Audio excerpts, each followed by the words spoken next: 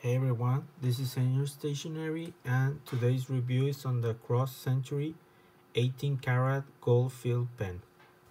Thank you Mr. Lagoman. So, continuing with the whole Cross Century collection, um, I was missing this one which I was finally able to get uh, a couple of months ago.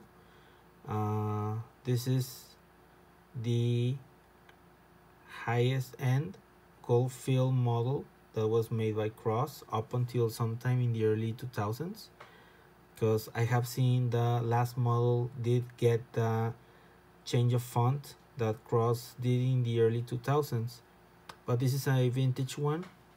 Uh, so again this was probably a model made around I guess from the 90s to around the early 2000s and this was the highest model uh, a higher highest end higher end uh, on a top notch over the 14 karat rose gold. And after this one what was next was the uh, pure gold pens which are very expensive. Those that run around 2000 to 5000 dollars and are very scarcely made. So basically this was the top of the line uh, golden one made by Cross. So what's so particular about this pen or how do we notice? Well, first of all, we see uh, same as in the other Cross family pens, we have the chrome tip. Then we have the ridges around the barrel, as you can notice, for gripping area. And again, this is gold filled, so the body, the cap, as well as the clip are gold filled. Same as with other higher end cross models, it has the cursive cross font. Same as in the 14 karat gold pens, the sterling silver one. And as well as the solid gold ones. If you ever get to see one, they are very, very rare to see, the solid ones. And then we have over here the marking. You notice, this says cross 120th 18 karat roll gold. And this is made in Ireland. I don't know if you can notice over here. Uh, made in Ireland. And what's the difference here? Well instead of a black plastic cap it has a metal gold metal tip with an elegant black band and a black dot. Remember that the dot is the sign of being a ballpoint uh, when the tip is solid with no dot that means that that's the pencil. This model was also made as a uh, as a mechanical pencil as well as a roller ball. I'm not sure if a fountain pen but there are a few vintage roller balls uh, occasionally on ebay. But probably this was the most main common one the ballpoint. So uh, it's a nice pen slightly more sleeker we could say compared to the 14 karat and the 10 karat gold. Again this is all metal even the tip. But again we have to be very careful because if you drop the pen then you will dent the tip and this will be more harder and probably more expensive to replace with cross. And being this a discontinued pen uh, it will be maybe more harder to to repair or get a spare tip. On the more on the solid uh, solid gold pens, the interesting part is that this thin um, this thin stripe that goes around goes thicker. So one one way to notice um, uh, pen one of uh, Cross's uh, pens being more uh, fancier is that it gets more thicker black line. Uh, I noticed once that there were some solid gold I think they were 21 karat gold ones made for Tiffany. They had over here on the clip Tiffany and Co.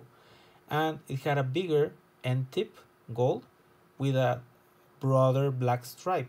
So that's how you could tell the more expensive ones. But this being the gold fill, this is again again this is probably the entry level we could say to the solid gold ones.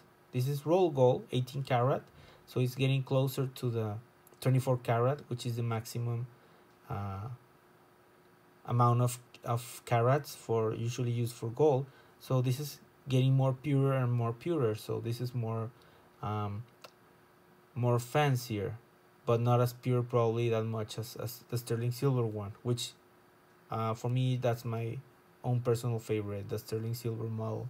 But nonetheless this is still a really beautiful and elegant pen very distinctive still slim as the other ones. It has a nice heft just like all the other uh, cross pens. Um, I like the heft and feel of it. Uh, my hands are fairly considered big or at least that's what my uh, glove uh, size is supposed to be. So even despite that I still find it fairly comfortable and writing with this pen. But now if we want to compare how yellow is this pen compared to um, this gold how yellow is this gold compared to the other ones? Let's take a look. Over here I have a 14 karat rose gold and I have a 10 karat from the 1990s US made. So let's see. First let's compare to the other yellow gold one. So if we take a look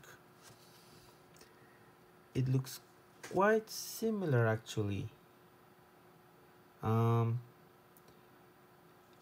maybe the light's not making it that much of a favor but in, in real life if you see it like on, on real life uh, the 18 karat tends to be maybe a slightly more yellower but at first glance if you compare with this one this 10 karat well it's same shade of yellow. So I, I think this is this gold is fairly or uh, Cross's gold is fairly consistent. But notice the difference with the cap. The traditional 10 karat and the 18 karat is more sleeker more elegant. This one has more engraving more explanation but then again this is a vintage one. And this one from the 90s has a very faint cross USA and that's it. That's about it. It doesn't specify the 10 karat at some point cross just stopped writing the 10 karat specification on these ones. You just simply know i guess.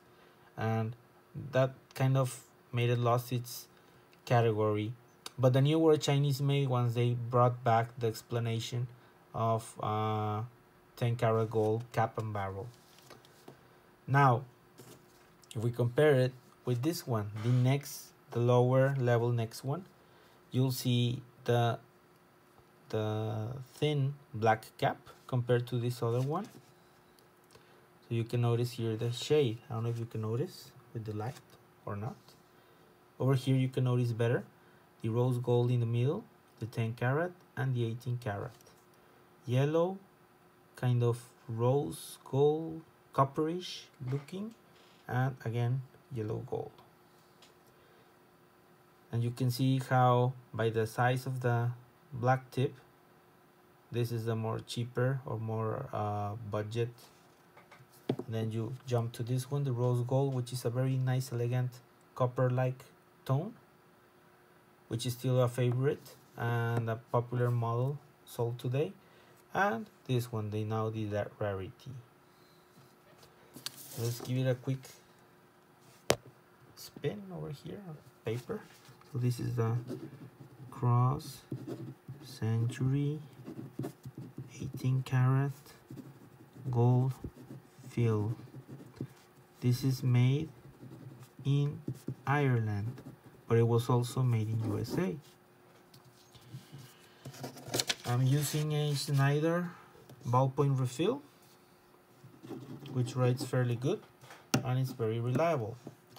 So again this is the 18 karat gold. I hope you like this review. Remember to stay tuned for more uh, stationery reviews and please feel free to make any comments and share any experiences with uh, any of the items that I've been showing or if you're curious to make any questions. Thanks for watching. Bye bye.